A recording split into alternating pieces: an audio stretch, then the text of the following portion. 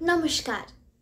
কবি অনিল সরকারের লেখা কবিতা রবীন্দ্রনাথ একশো পঞ্চাশ।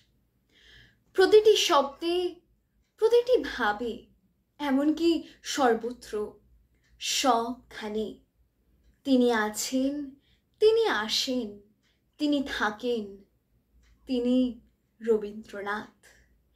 তিনি একাই একটি কবিতার উৎসব, সব কারণের ফুল। ভালোবাসলে নিবেদনের ভাষা তাঁরই কবিতা। সখী, ভালোবাসা কারে কয়? রাগলেও প্রয়োজনীয় শব্দে রবীন্দ্রনাথ।